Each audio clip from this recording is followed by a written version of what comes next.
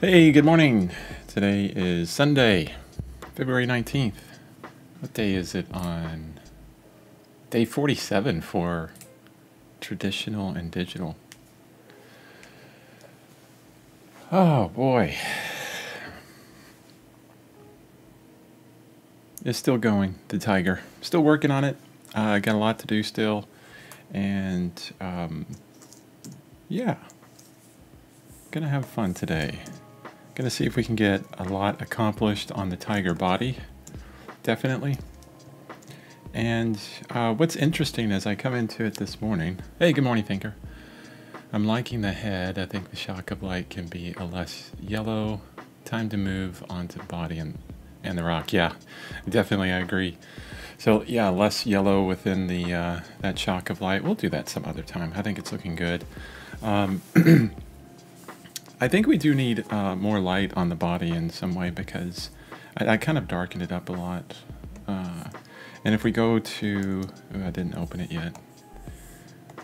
Saved it for our last one. If we go to the, the value composition that we have, um, the, the body is a lot lighter. And I'm, you know, I'm going to kind of fake the light a little bit on this anyways. And I think it'll be fine. I don't think it's going to be a problem if the light is not exactly perfect like real life. Uh, yeah, that's part of what we can do as artists, right? And where am I working up the body at? Right here. Yeah, definitely. So what I can do... I'm trying to think of the best, the easiest way to do that within these layers. I wonder if, if I could do the, just a quick test on this, where it's going to show up. Isn't that crazy? The ability to just destroy your whole painting and then bring it back, no problem. Uh, man. Okay. What if we just bumped up the light some? This is kind of in the background. It's under some layers that I've already put on. It's really hitting everything now. I need to be more exact on this. I can't just do it willy-nilly.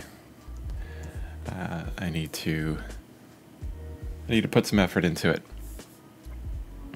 That's one thing that I found that I tend to do with uh, digital is is I tend to think, oh, it's digital. I can go a lot faster, and I don't I don't need to work on the details and things. And then and I figure out later on, like, oh, no, that's I still need to do that.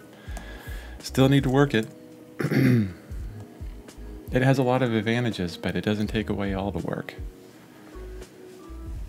Yeah. Okay. Let's, I think one of the first things I want to do, and I keep having to go back to my favorite brushes and pick out this pencil. Actually, I really don't have to do that because if I'm if I'm here, I could still use this menu and get that brush. I need to always remember that.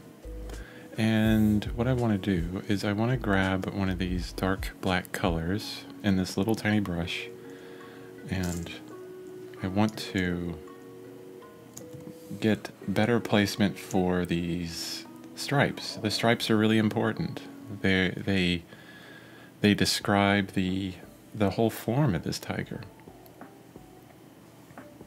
And you know what? To make this easier on me and quicker, um, I'm going to open up the reference and we're just going to paste it over and trace it. I don't care what you think, I'm tracing it been working on this darn tiger for so long, it's, it's about time that I use the digital means.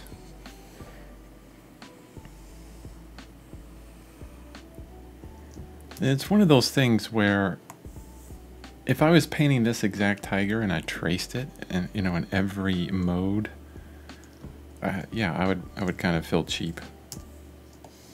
Feel like I'm cheating myself in some ways, but wait, didn't I already do this? Hold on. Oh, there's some light color on that tiger.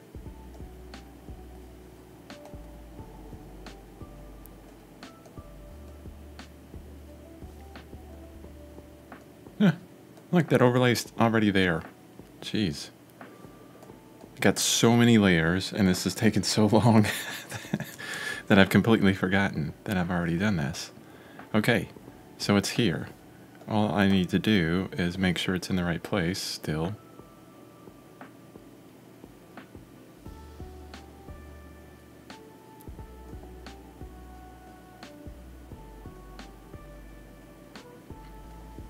It, it, it would be very easy to, you know, turn down the, the, the opacity like this and then look at it and go, wow, I could just photo bash the crap out of that. And it would look really great. I kind of like the gray, how the gray's looking for some reason. I don't know why. Huh. Anyway, no, not going to photo bash it though. Going to figure it out. Not going to take the super easy route. Unfortunately. Sorry, guys. Okay, that's the beard. We're under the beard. We're going to be on this layer. All right. All figured out. Yeah, we're just going to draw it directly on this layer. Hopefully we can see it.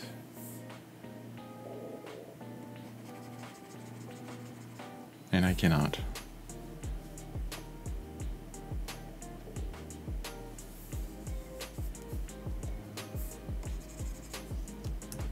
Okay, we'll just have to do an overlay then. Insert a nice bright red. This is a really good stripe here. but it's going, I mean, if I turn the that off, it, you know, it's it, mostly it's it's all obscured. And that's really interesting. Like our beard is so large that it's obscuring the, the front body of that tiger. But if you look at the Sumatran tigers, I mean, I could do that overlay and we've, we've given this tiger a trim. It's accurate.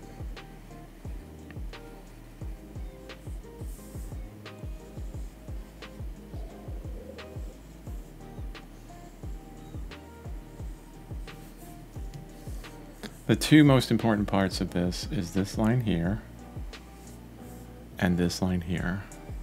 It's the two overlapping lines that gives form in space. Those are the two most important lines. Without those, it would look really flat. I like this kind of divot in the in the fur.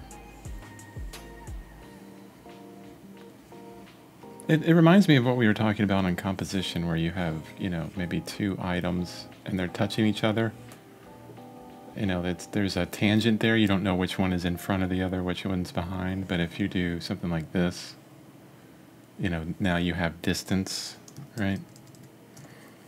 So that's what these are doing, these, these two lines. It's giving the difference between the front of the body and this line here. It's giving the difference between the front of the body and the rest.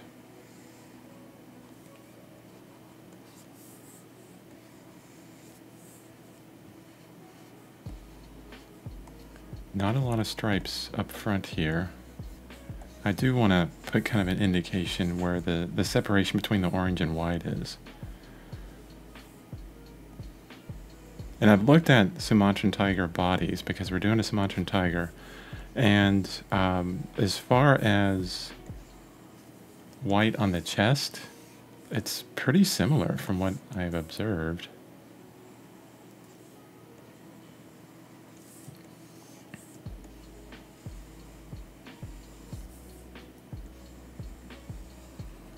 Let's do this as well. Uh, I'm going to close this one. We don't need it. Open. Oh, this is interesting. Look at this tiger's tail's like straight up in the air. I'm looking for a tiger tail. This is going to be a tiger. It's interesting when they're at rest how the, the tail just kind of droops straight down. But then it goes straight up in some instances. And I just heard my cats knock over something in the kitchen. I hope it sounded like a cup. Hopefully it wasn't full of water. Gonna have to clean that up afterwards.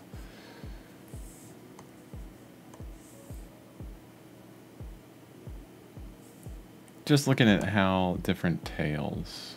Now this is all Sumatran tiger, and actually, if I look at the big beard on this one, well, this these are both Sumatran tigers. This one has a lot of white on the front. This one does not. This one's very orange. Looks like a Bengal tiger. A crazy orange. I'm gonna open up this one. Wow, you're a tiny image. That's fine.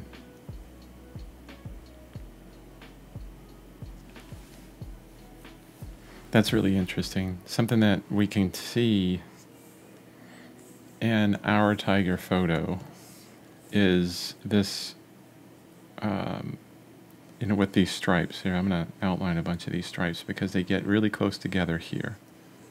A lot of blending of stripes. But, but they indicate this kind of divot, this uh, concave shape with the side of the tiger. That's a, a healthy tiger that is not eating too much and not pregnant.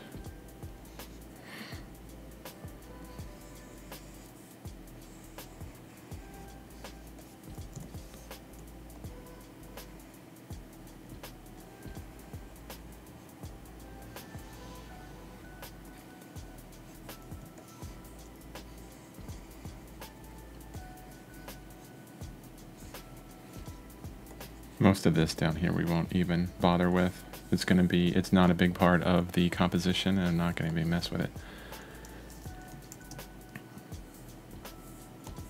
I will open this one though and give it a, another look. Wow, this must be a big image. Or no. The one in the background was saving.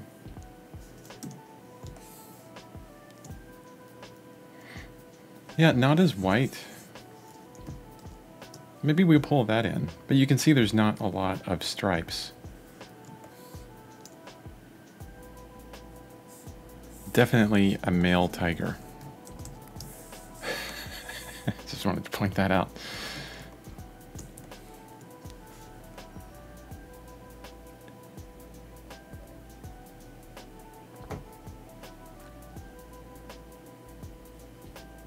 Yeah, not a lot of stripes. Sumatran tiger. This is a young tiger. We got the beard. That's actually really kind of cool with a Sumatran tiger is how we get this longer beard as they grow older. oh, that's pretty cool. As a person with a beard myself. Yeah, let's do it. Let's let's do this. It, it would be easy to draw this shape, right? This is not a hard shape to do. But I want to grab the stripes on that shape as well. And we're going to put it right here. Little tiny image. It's so small. Look at that. It's ridiculous.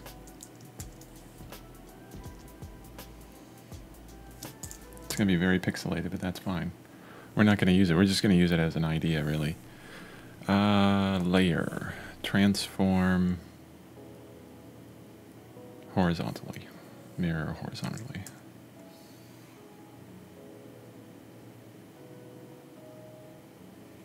And I got part of the bottom of the tiger, the backside. Yeah, I kind of like that. I like the flow. It's kind of swoops down. Yeah, that's nice. All right. Let's go ahead and change the opacity on that down to what the Tiger is, 31.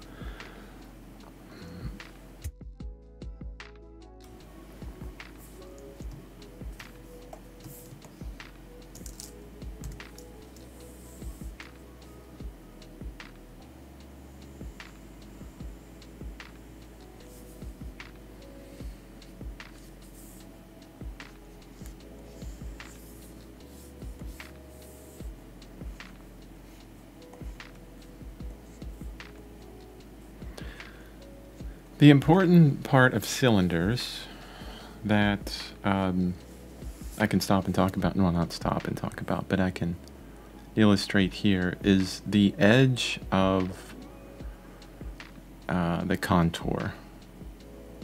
And it's confusing in a lot of these stripes because it's not doing what I'm wanting to illustrate, or maybe it is, and my red line is obscuring it because it's tiny. If you have a cylinder, you're going to have two ellipses, okay? Here's your cylinder. And then when you do a cross contour, what's important when you do a cross contour on these is the very last kind of um, form on that. It's it kind of has a oh words. It, it it has a gradual bend to it, like like the um, ellipse that's on the top and the bottom, but then on the edge it sharpens out. It like uh, so if we looked at the edge closer, it would do this. It would hit that kind of quick turn right at the end. And uh, the good thing to remember is uh, ellipses will never go to a point on the end. They will never be points. They're always going to be that sharp curve no matter the, the degrees of them. So when I'm looking at the tiger tail, I'm keeping in mind that really sharp turn at the end. Although some of these stripes, these contoured stripes, are not doing that. It's interesting. Nature will always throw you kind of a curve, I guess, curveball. That's going to be obscured by the palm that we have in there. All right, that's the stripes.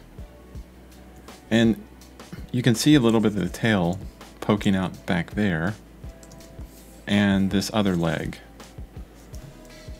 I'm gonna obscure, I'm not gonna worry about either of those. I don't think it's necessary. Oh, you know what I will do?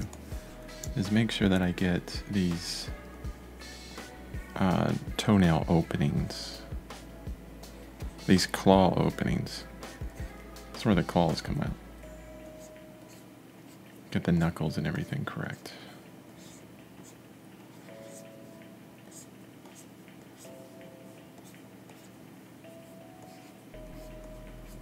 I can even do some cross contours to make sure that I get this shape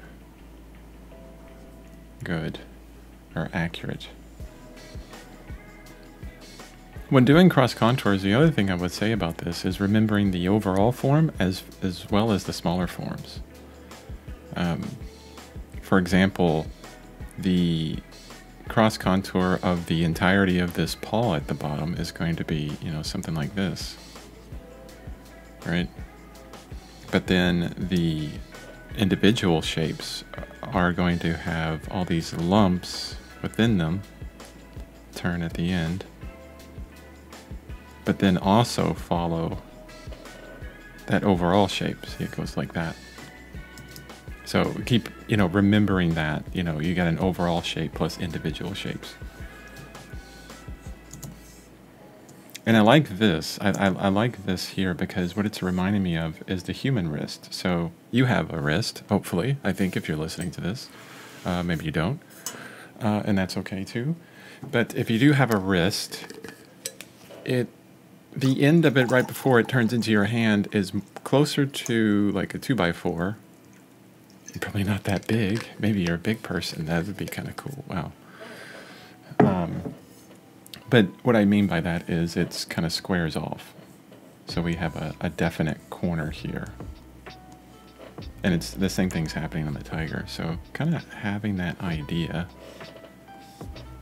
It's not perfectly square. I mean, it's making, when I do it that way, it makes it look like it's super square. But, um, okay, which which way would the, the curve go? Where's where's the uh, eye line at? Right there. Yeah, so it's it's definitely going to be a down curve. So it would be something like this. Probably. Maybe.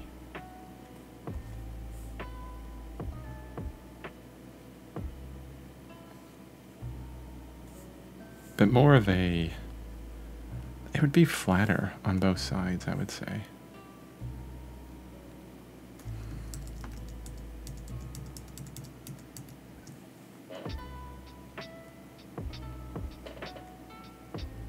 Yeah, that would be closer to it, I think.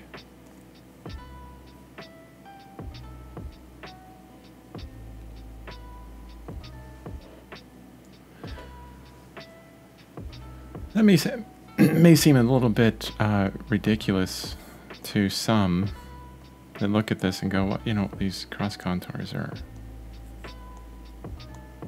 unnecessary, ridiculous, or whatever. Having this understanding um, is probably one of the most important things that you can do in your career of the artist. Having the getting or gaining and I say having, it's like it's like you automatically have it. Like, oh, I have understanding of form. Well, no, you really don't. No one really does because we're always uh, going to be um, challenged with new and different forms. But the ability to quickly look at you know a flat image and get a better understanding of the form, that's what's really important. And I, you know, I always do that through cross contours um, definitely. That really helps me. Yeah. Okay. Enough of that. Now we got that all lined out. I can remove all of our imagery. I can take this layer and drop the opacity like way down. And the first thing I see that we need to do is I need to lighten up the body so that I can put the stripes in there and actually see them.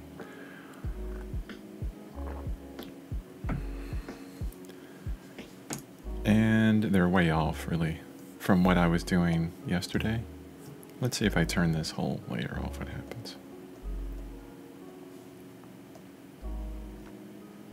Actually, what what is this that I just turned on?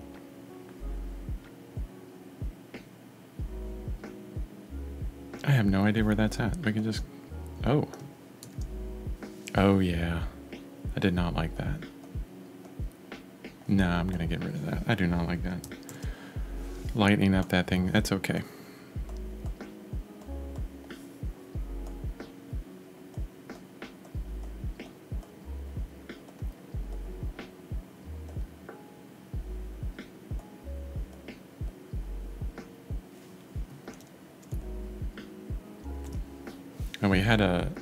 For darkening up the palm fronds in the background. I think I'm going to keep them light. I, am going to remove that. Yeah, I think that's fine. What's on this paint layer? I don't think anything's on this layer. No. Sorry, doing a, some cleanup here. Some reference that I have, I pulled in from last time. Okay, all right.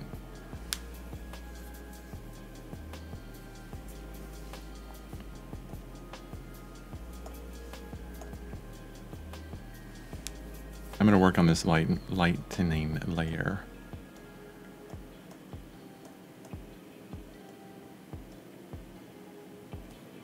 And I may keep this, but I'm going to bring the opacity way down. Just to help out with like another layer of texture. And then I'm to merge down.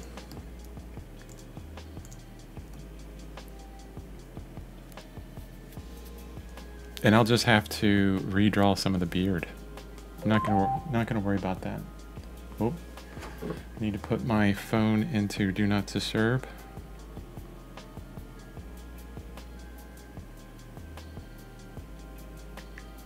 Actually, no, this is important.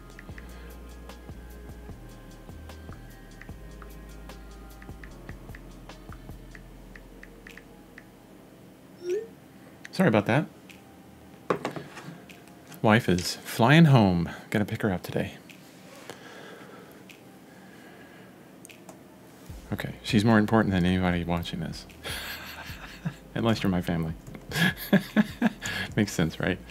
Oh, is it me or should the back right leg be a little thicker? Let's see. Maybe down here. But as you can see, I traced it. It's like right there.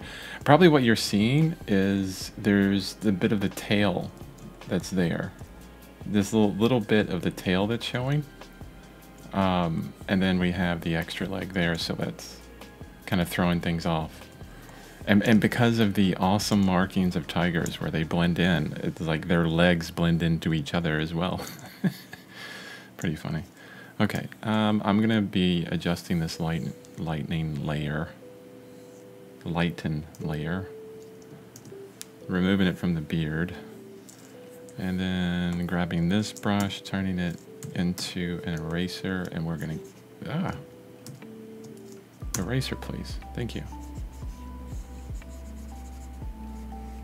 Get rid of the edges of this so it doesn't look like he's got the glow. Although that would be cool.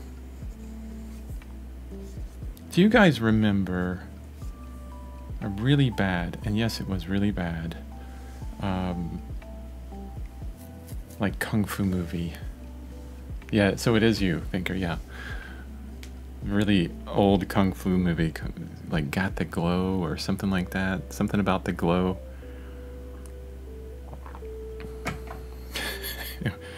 Loved that movie when I was a kid. Hopefully there's a few of you nodding. Or maybe there's a few of you going, wow, I looked that up and it's so old. Like you. Yeah, I'm not that old. Thinker's got me on that one. All right, let's bring some more light into this. And we're gonna do it specifically. I'm going to grab a nice light color from the tiger. Oh, that is not light at all. How about this one?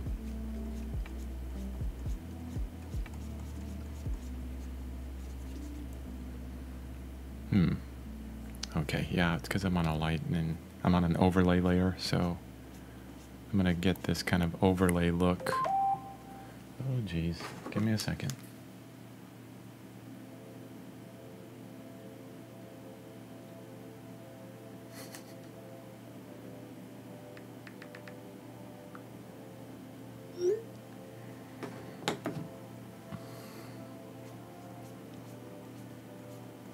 Okay. Yeah, that's what it is. I just need to make this really bright. Maybe...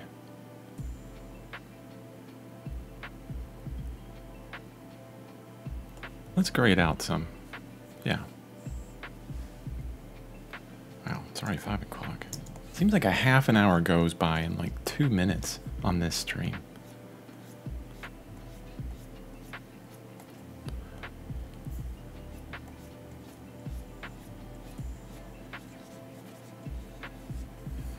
Now it needs to be closer to orange, I think. If we're here and we have light on this tiger, and I really wish they would just light a tiger with one light, but yeah, they probably can't because it, then they'd have to bring the tiger into a studio and that could cause other issues. Let's pick this color.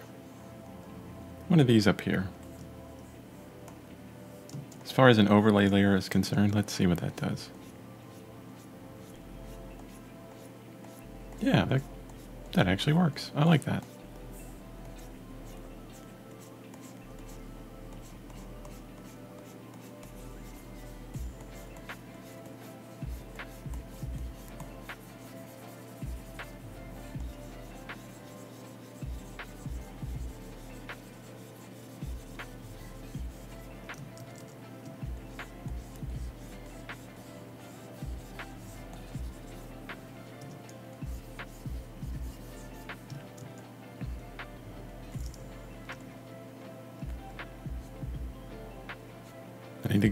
Into the beard on this or else it's going to look weird.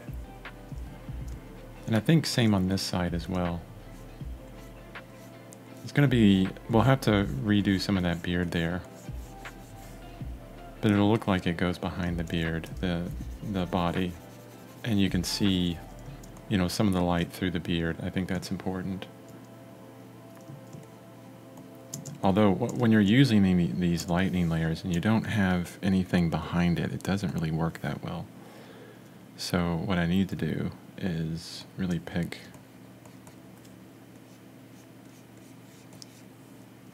a color for it to go on to. So I'm just painting directly on the tiger right now.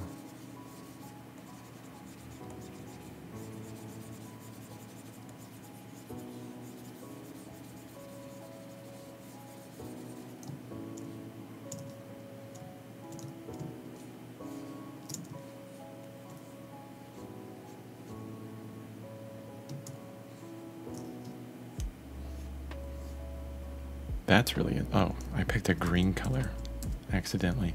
I was like, why is that getting green? okay, that shouldn't. Uh, that's too dark.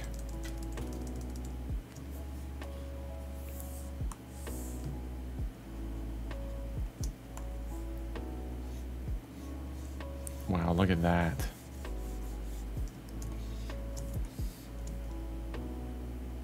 That's crazy.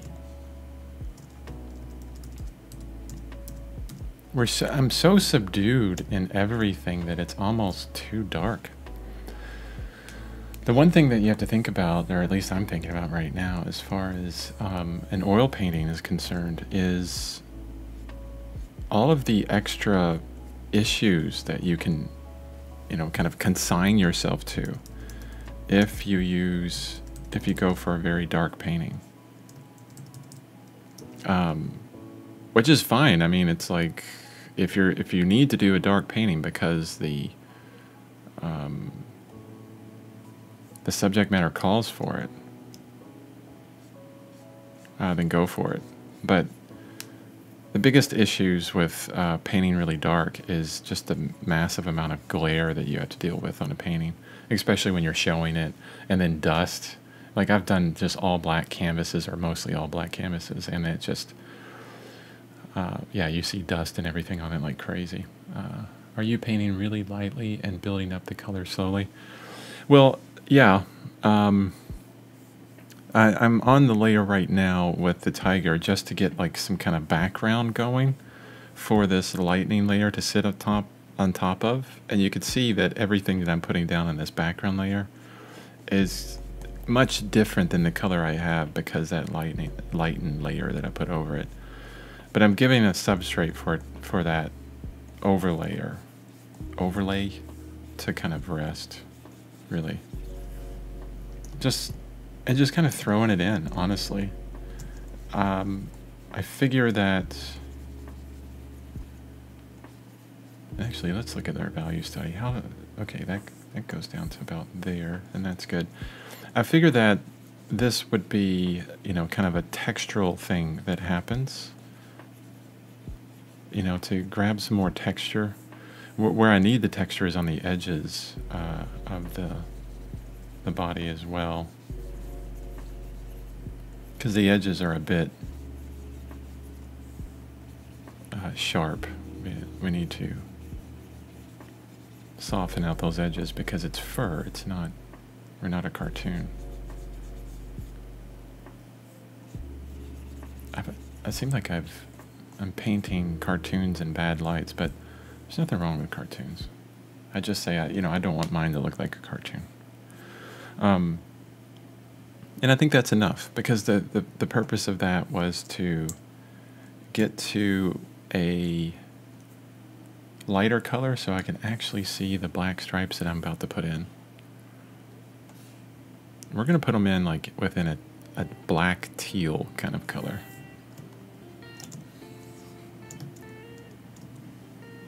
And, you know, this one here, we're not going to see any of that. Wow. Where's that layer? There it is.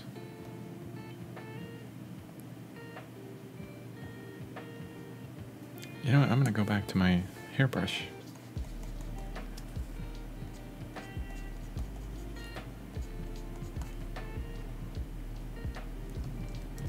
On the wrong layer again.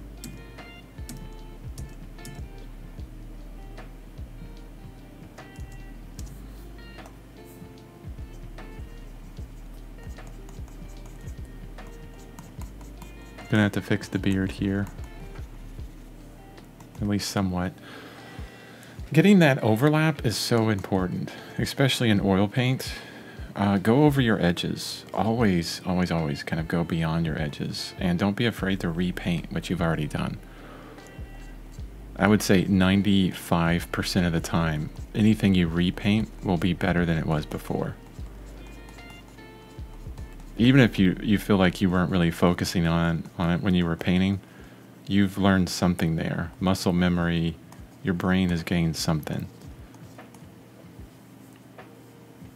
These are all on a separate layer, these stripes that I'm doing right now. And yeah, that's what I need.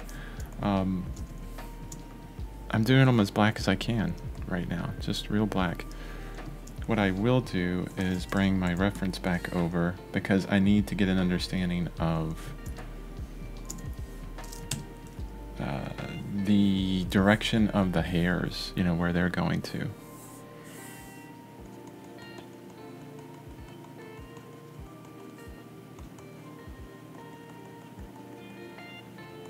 So I'm doing this in a full black color so that, and on a separate layer, so that I can um, kind of lighten it up all at once if I needed to. And I probably will. Or each individual stripe I can affect differently in some way. Working with a really small brush here because there's some distance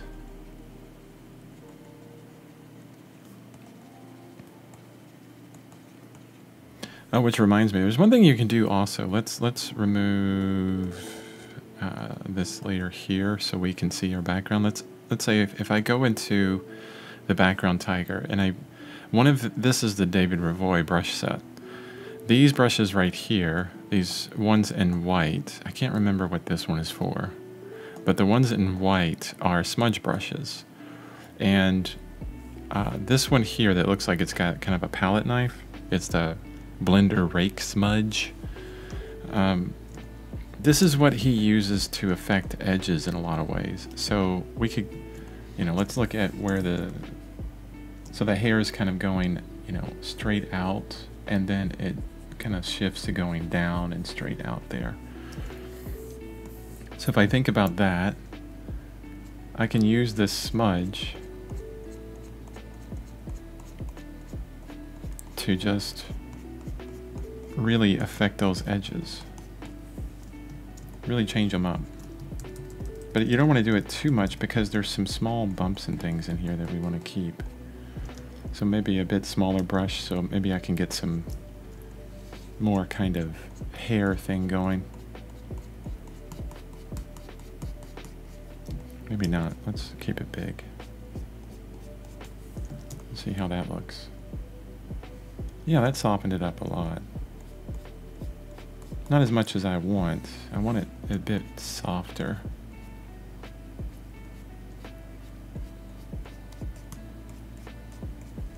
Actually, uh, you know, what I would probably, what I'll probably do here is I'll also turn this into a eraser.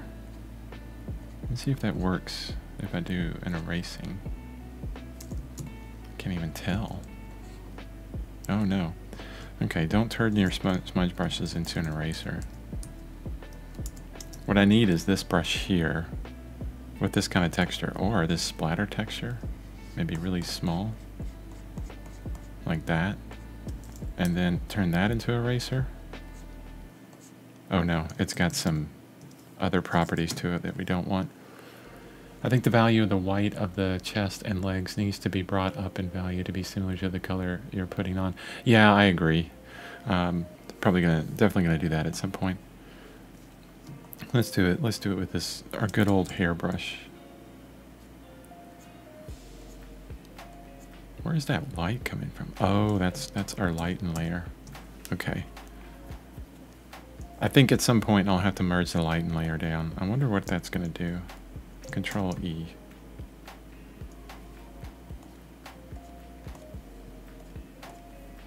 Yeah, that's fine. I'll just keep it merged.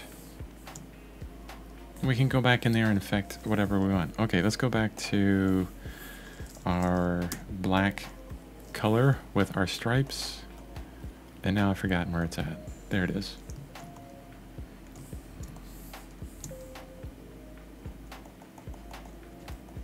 Yeah, I, I agree with you with the the chest, definitely. I'm guessing on this, but I'm pretty sure that this is the direction for the hair that will happen for this stripe. You know, out, out, out, and then kind of slowly down. It's kind of like it's, you know, if, if you took, um, it's like it's like cross contour on the z-axis. So if you took hairs that went really far out, it would go out this way, out that way, out that way, right? And we'd go around the whole body this way. Like we just gave him a really big bone collar or something. That's pretty cool. I mean, you, you think about um, even the hairs are following the contour. So if I went in here and I just put, you know, randomly just put some hairs in there with, without thinking about the form, you're going to lose a lot of that interest, a lot of that, you know, the little subtleties that make the object that you're painting what it is. And I think if you go on ArtStation, and there's a category called textures, I think, textures and something else. And it's just all these amazing artists that are building um, like three-dimensional objects with all these different textures. And for people that do renderings uh, for textures, they can take that and just say, oh, okay, I want brick, I want rock, I want fur. And I bet you those guys, those people, know this idea of texture following form. Just as a test on this, while I'm thinking about it, let's say we pull out this white of a tiger. Uh, you know, I'm not gonna. Well, obviously, no, not not using that word. That's not gonna work. It's too too light. Okay, so let's just let's keep the same uh, hue, which is basically just white as it's in the center there. We could probably uh, bring some teal or green to it because there's going to be some reflective light from the jungle. This guy's not, or this tiger's not getting all that reflection. And then we can just gray it down. Or at least darken it up. We're not graying it down. It's already really gray. We just darken it up. And we go, is that too bright? Yes, that's way too bright. Okay, a little bit less.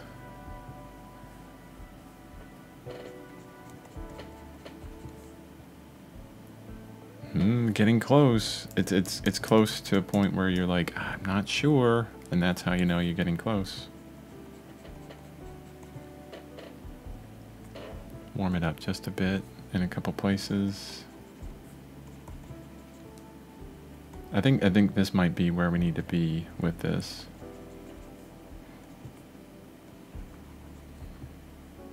And we, we have range because we saw a couple Sumatran tigers that had more, you know, was more orangey uh, up in here.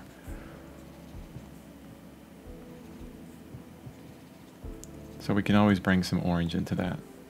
So right around that value would probably work well. And it's one of those things where I put it on a separate layer so that I can mess with it in, you know, in its own aspect. Separate it out so that you can, oof, adjust it easily later.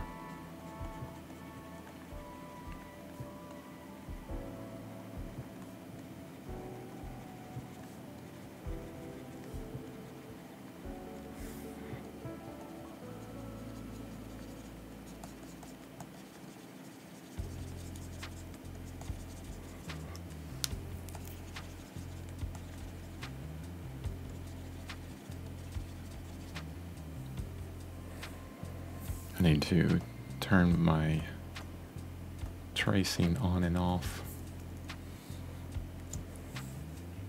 Now I'm going to put, wow, there's a confusion of lines here. It's like which one is the um, stripe and which is not.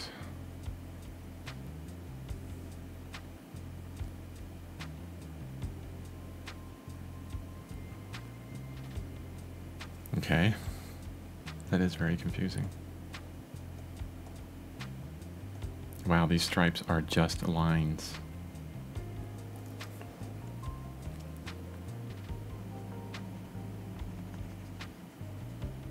I mean, at this point, it's just... I'm doing a shaky line all the way down.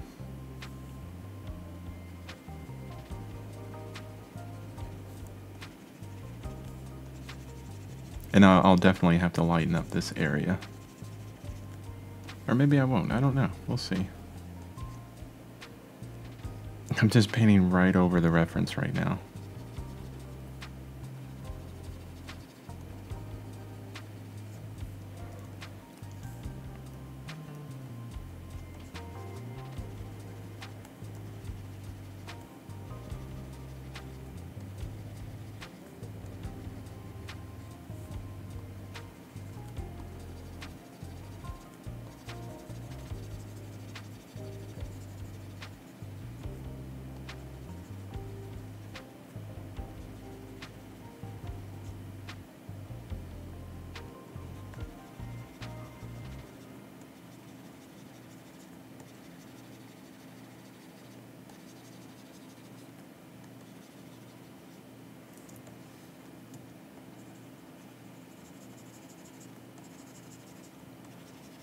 Wonder if you can hear my stylus.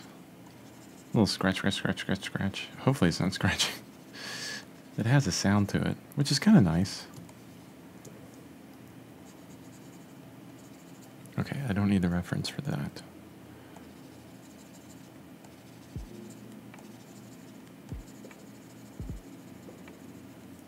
It's really easy to get into using these crutches. You know, these little things that make art easier. But I'm, I'm always of the mind to remove crutches, remove crutches. Use them, but, you know, kind of like training wheels. Eventually, you want to take them off so you can go faster. So you can feel that freedom of ability.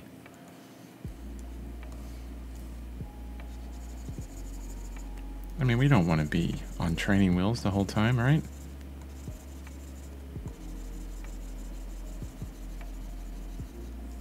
We want to be able to do this without anything else helping us. Uh, you know, we're here to build the skill.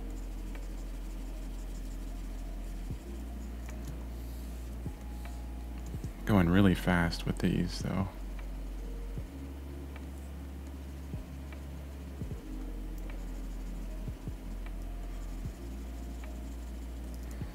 Yeah, I, I think I've only been doing digital art for about.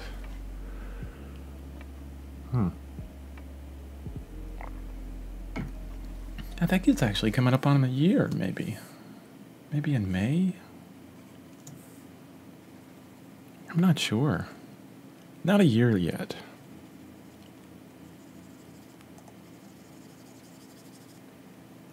Yeah, this summer will be a year, I think. But anyway, my point is uh, that, or the point I want to try and make here is I, I don't really have, you know, this amazing skill in it yet. I, I you know, and I'm not going to tell you that I do, because I don't. I'm I'm really leaning heavily on my um, traditional skills because those do transfer well.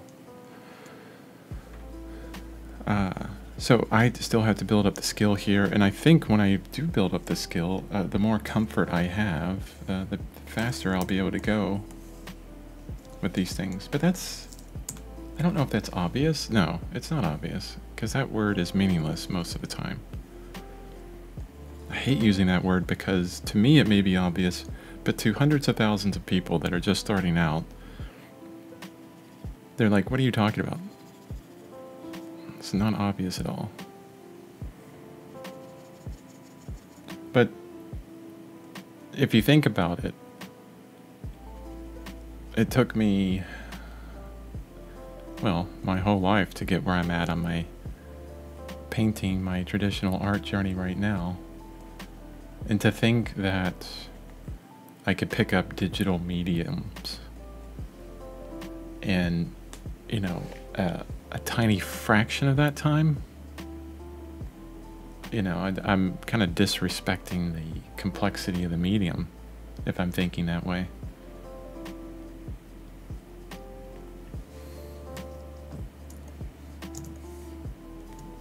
All right, those are in. Let's get the tail. Yeah, no, R. That's what I wanted. Not even going to use the reference on this. It's okay. Which ones are the stripes and which are not? Oh no. All right, maybe I will turn on the reference real quick. Wherever it is, where is the reference? There it is. Okay, as soon as I have one, I have the others. Oh, the one thing I, I don't have on this is the non-stripe part of it.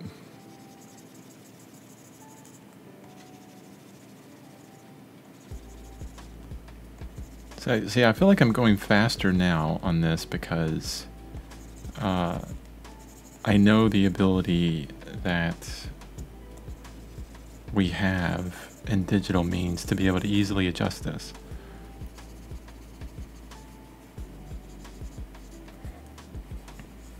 This is not going to be a prominent part of, or the tail is not going to be a prominent part of this piece, so I'm not really worried about uh, direction of hairs or anything like that. What I will do is turn that on. Wow, it's just white. Is that a Sumatran tiger that we got that tail from? Well, it's interesting how it goes. You know, it's a very orange tiger, but the, the tail bottom is more white than anything. That's going to be kind of cool. Let's put it on this one, this layer part of the layer with the tiger. We'll, we'll grab that green, but then we're going to darken up it a lot. And this is underneath our... Wow, really? Is that... Yeah, I just matched the background. like perfectly. How random is that? Alright, so let's take that color and let's lighten it up a bit. Ooh, too much. Oh, it's so subtle. Or maybe that wasn't too much. No, that's fine. Not worried about turning the form within value ranges on this right now. Let's just get a base underneath these stripes.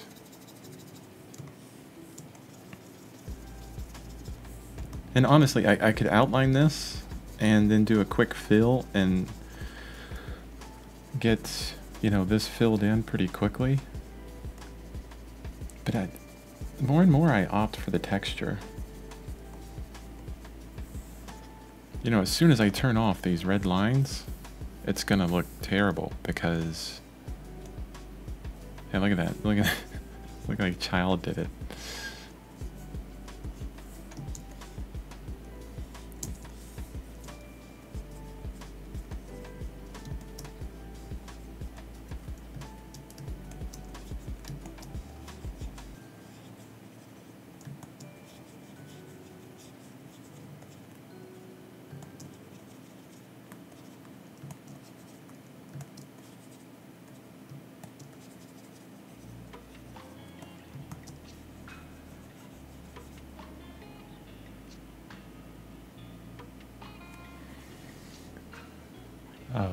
Missed your message there, Thinker. Sorry. Would comparing the value of the white to the value of the color help? I, and, and I'm going to assume that you were talking about with the chest area. And maybe you're talking about, you know, the comparative difference in the reference. That would be kind of cool. Let's do that. It's actually a cool idea. Uh, I'm going to make a new layer for this. So the, the super white of our reference right here, let's make that bigger. I mean, we're looking way up into the whites there. And then let's, the orange that's in the light is right there. I bet you if I did a control U on this. No, it is, it is a different value, you know, subtly different value. So that's where we're at with those two. And then if I do a pick on this one, I mean, they're really close in value, you, as you can see. There's not... A, I'm, I'm looking at this little stripe up here. It doesn't change very much. The hue changes, but the value... I mean, heck, the control U would show me that right away, you know. Actually, no, that looks pretty close, but... Or that looks pretty far off, but when you actually look at the change...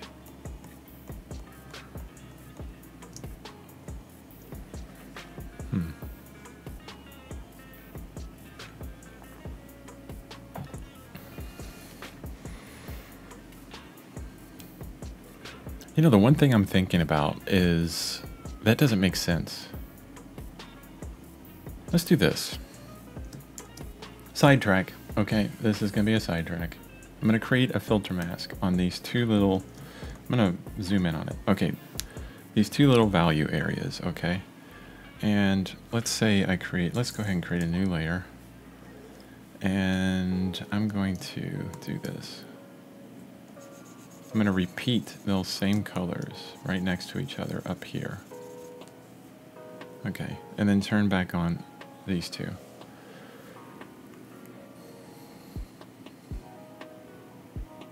Now watch this. Here's my gray, okay? You see how far that dropped down? Okay, and then my white.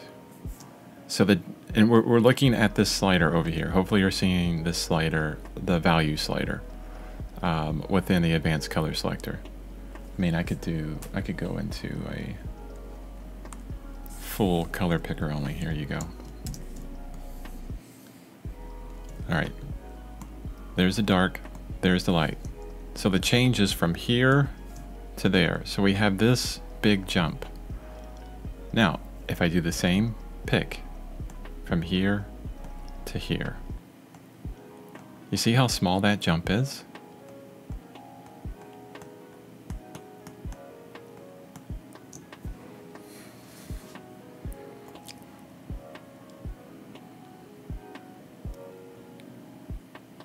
That's really confusing.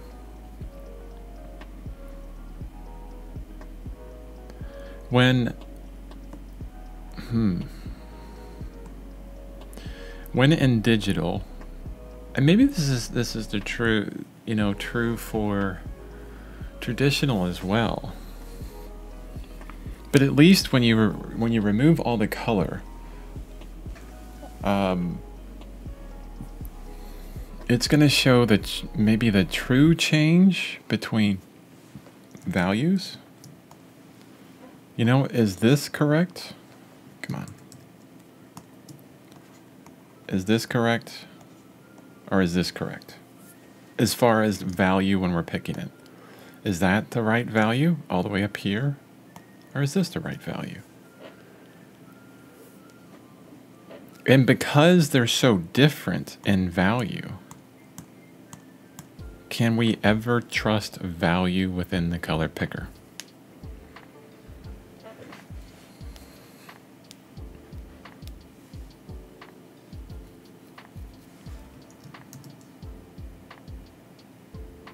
I'm going to do another test. This this could be huge. Um, I'm actually going to take a screenshot of that little part, and I'm going to open up Photoshop. I think I've opened up Photoshop maybe once on this live stream. But I want to see how Photoshop handles these values right? So let's say new file. Uh, yeah, from clipboard. Let's go for it. it didn't really paste from clipboard, but it got the size from clipboard, but it didn't do as cool as. Um, oh, jeez. it didn't do as cool as um, Krita, where it'll, it'll just pull it from the clipboard exactly. Uh, Thinker says, ultimately you'll be dealing with the color. Try comparing those two values from your tiger. Right, I understand that. In this situation, I'll ultimately be dealing with color, and you're correct. But this is more of an understanding on um, how digital functions, okay? Or at least how these two programs function. If you can see this color is way off. I don't know if you can tell that, but I can definitely tell that. Like that's not the color that was, or was it? Eh, it's close enough. Okay. There's some differences in, you know, whatever was was chosen. Okay. Where's my Oh jeez.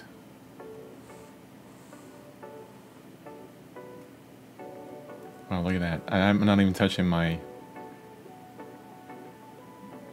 pen display. Boy. what is up with Photoshop? It's like you can't have Photoshop and Krita open at the same time. We're going to run really slow. Uh, the one thing I don't know how to do is look at just value. Eh, we'll wing it. Alt, not Control. So Photoshop coloration right here, there, there. Big jump, small jump. Because we're, we're looking at from top to down, top, top to bottom, up, up to down. Yeah, and it's basically the same. That's really interesting. I mean, is that telling us anything about traditional? Like, would the same happen in traditional? Probably, yeah. But I think you're right, uh, Thinker. Ultimately, we're going to be dealing with color, not value. Um, so, why is it important? How how could uh, the control you, just like removing all color from from something be helpful?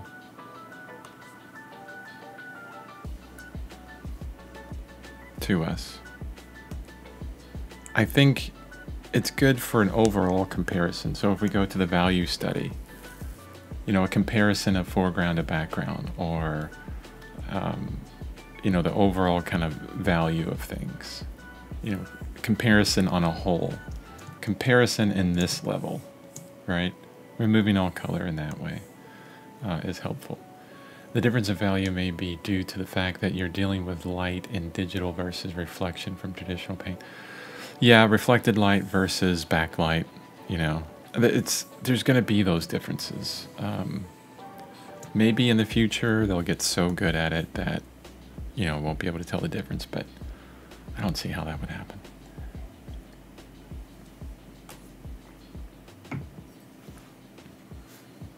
Actually, no.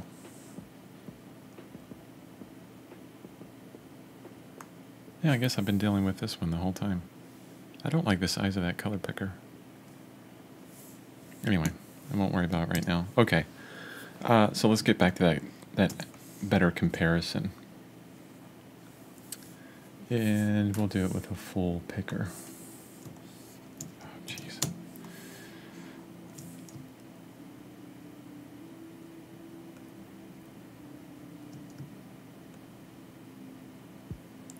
So within color, there's just a, a tiny change between those two.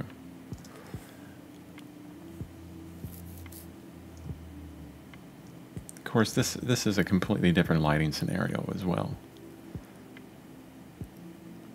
It'd probably be more accurate if, you know, I went in here and I compared, you know, this grayish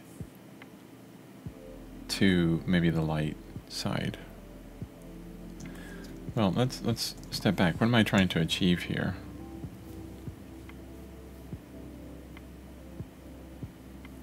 Uh, are we trying to achieve you know the correct value here as it as is compared to you know the si- the the color that's in the light right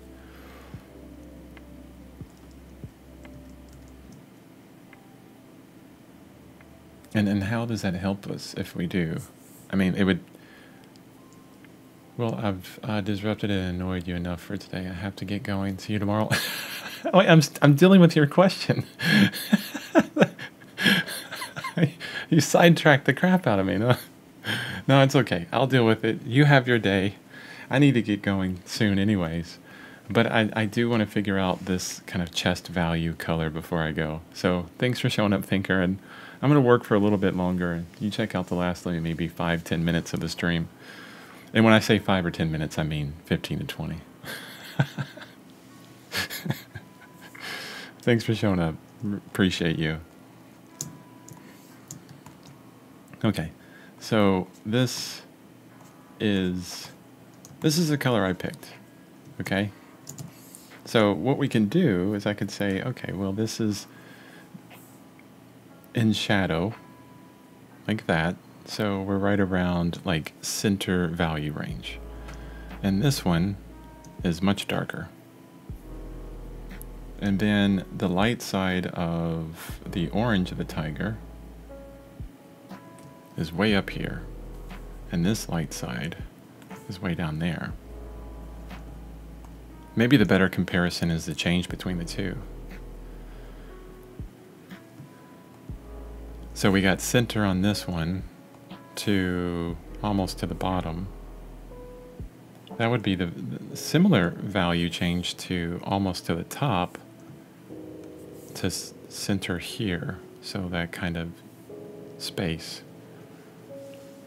So it's kind of like I've taken the value range and I've turned them both down.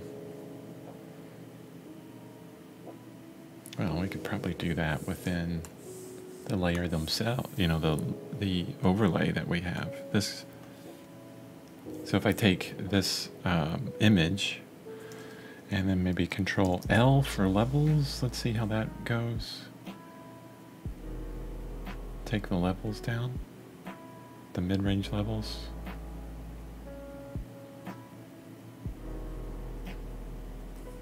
Maybe chop off the whites.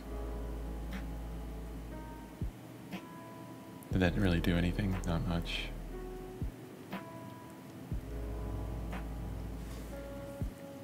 Uh, I can control Z that.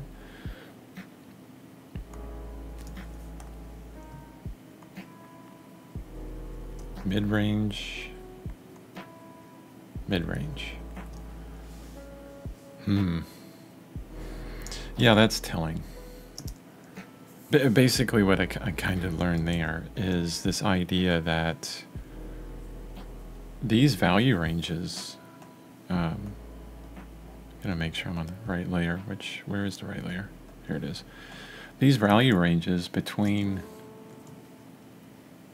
the kind of whitish gray layer and this outside layer are not very different.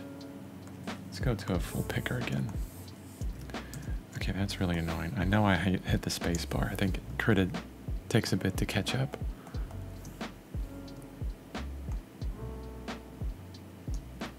So if that were true, okay, like if I stayed within the same similar value range, maybe just a little bit darker, then my uh, the light color should be, or this uh, whiter color should be right around in here. Let's gray it out.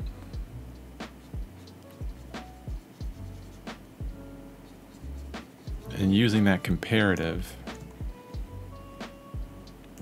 that's along the lines of where it should be. But the problem I have with that, you know, it may work out here. the problem I have with that is it's not going to match with this this um, high contrast lighting that we have in the head, and it's going more along the lines of matching the image. And that's fine if you want to, I mean, we could, we could take the image, you know, and just go plop and put it right on here. But I, I don't, that, that's kind of like, uh, I don't want to denigrate that because that's really difficult to do. It's really difficult to learn to to be able to take this image and draw it exactly like it is, same value, same color, and everything. But I'm at a point in my career where I've done that so often, where it's just been, you know, a carryover of the image, that now I want this kind of interim step in the center where there's a translation. You know, right here is me. So I take the image, I translate it into me, whatever that is, and then that's what I export from my brain to keep it because I'm a robot. so in, in that instance, I think we, yes, we can use some of this color, especially where the white is going to um, come in in some places, like right, maybe right around here, maybe up here. I'm going to keep it pretty orange in a lot of these places. So this is where I want the light to kind of come in and, and hit uh, the tiger. So maybe down here. Got to get that the hair going the right way, which is kind of down.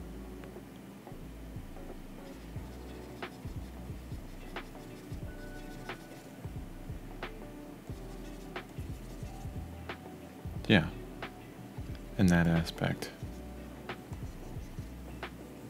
And that's not too bad. I, I, I think that's pretty good.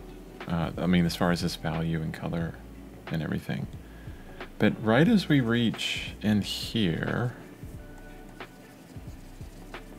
and get inside of the other areas, of, or the internal kind of idea of the tiger, these kind of darker value ranges, shadow cast areas, I'm going to darken this up. Just dealing with gray right now. Just gray. And this is just a little darker. So I'm bringing it in slowly. Just really kind of quickly throwing in a lot of texture, honestly.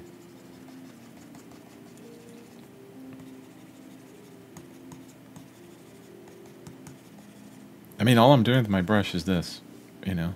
I'm lifting up every now and then to get more of, you know, kind of single textures. But uh, this is this is what I would call kind of like a block-in layer, on, honestly. Introduce a lot of texture, similar value, getting close. You know, you're sneaking up on it. It's not perfect. There's going to be some adjustments. Adding interest, all that kind of stuff. And this drop down the value just a little bit more. Now we can get closer to the center.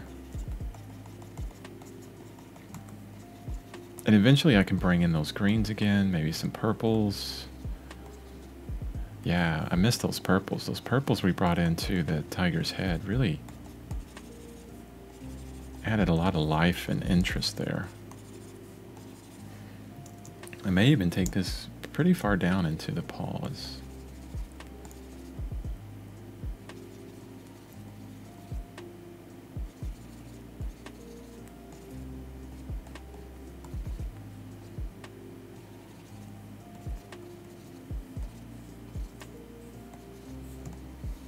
darken it up a little bit more.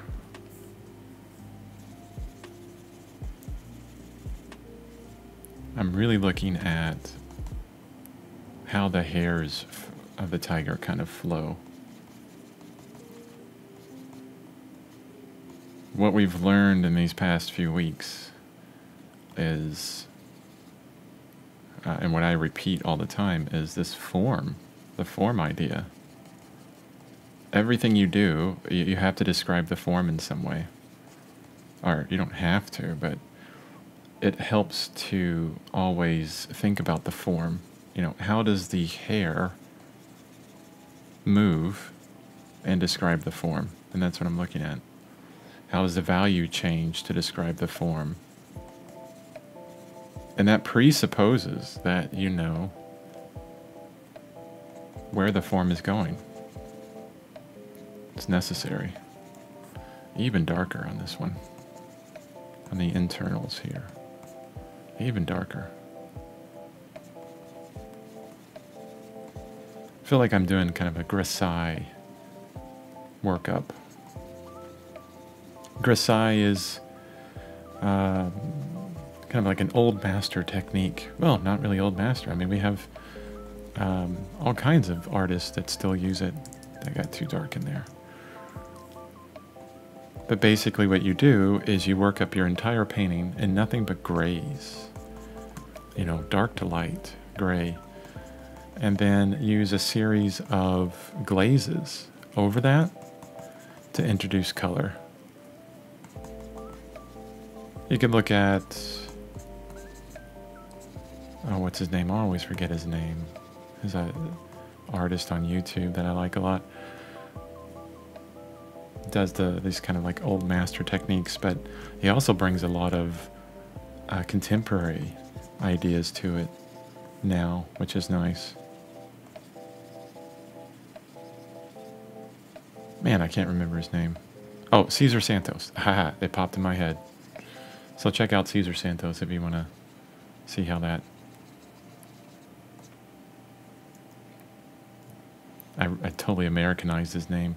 I'm sure it's Cesar Santos or something awesome in his language. I think Spanish, maybe?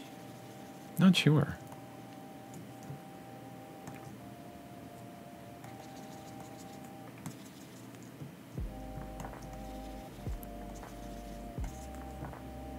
Let's lighten that up just a little bit.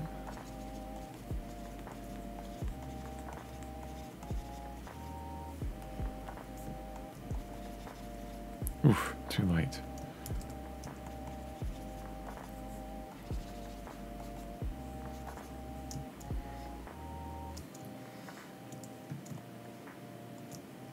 And now, now here's what I'm going to do. I'm going to zoom way in on the tiger. And what you can see, you see these nice little purples and things in here? I'm going to grab one of these purples. Actually, you know what I'll do? No, I'm not going to grab that purple. Here's what I'll do. I'm going to pick this gray, okay? This gray right here. I love doing this. This is so much fun. And um, the center of the wheel is here. I'm just going to keep it the same distance from the center. But I'm going to go out here to a purple. Maybe I'll intensify it a bit into a nice little, actually this is more of a magenta. And then bam. Can you even see that? I mean, th there's this intense kind of a magenta there. And because we got the values exactly the same, all it adds is just life. And then I could I could jump to the other side into a green. As long as I keep it, you know, at the same saturation level, same value, different hue, life life into the color right there. can do it everywhere. Let's go into this lighter color. So here, though this is nothing but gray. It's so close to gray. Barely go to the other side. Purple. Look at that. Magenta.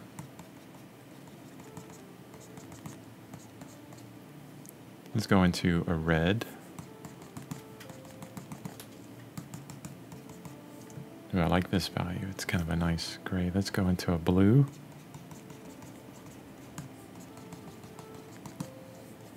Ooh, see? This one looks really weird, right? It's like, oh, that, that just stood out. It's because I put it over the wrong value. I would have to change the value to here and then go to a blue. Bam. Man, I love that. Isn't that awesome? I mean, th these are skills that we're learning here. These these ideas that uh, are not difficult to bring into digital me or to traditional media. You know, just on your palette, you would look at the color that you have there, this kind of greenish color or grayish color, and you go, hmm, if I keep the same value and uh, saturation for another hue, I can change that and it's just got a ton of life to it. Like way out here, this is a bit brighter. Uh, what would we go into on that? Let's let's bring it into a green. Nice green there. And let's bring it back to a bit of an orange. Red. Intensify it just a bit more.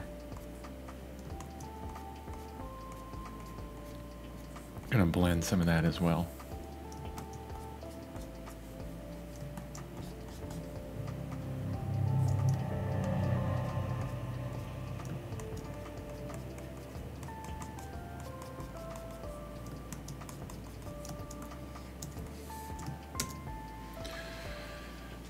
Tons of texture down there, you can tell.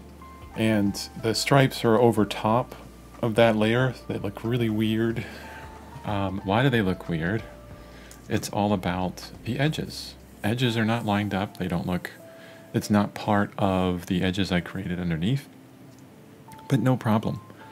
We'll be able to line those up and make some changes to it. And it'll look good later. I'm going to go back to this setup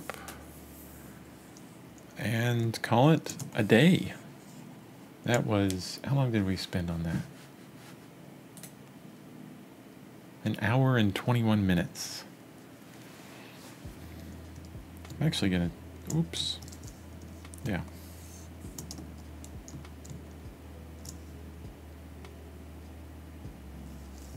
Okay